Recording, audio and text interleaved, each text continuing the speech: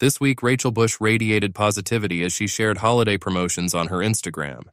Starting strong on Monday, the NFL wife captivated her 4.1 million followers with breathtaking snapshots from her getaway in Costa Rica. Her extensive gallery of images garnered immense love and admiration from fans in the comments section. Rachel, dressed elegantly in a summer ensemble, initially teased her audience with glimpses of swimwear, eventually revealing more in the second picture, where she was spotted with her bikini top undone.